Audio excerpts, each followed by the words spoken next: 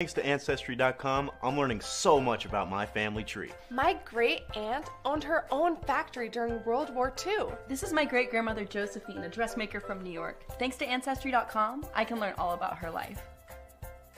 Um, this is my great grandmother, Josephine, also a dressmaker in New York. So, Um.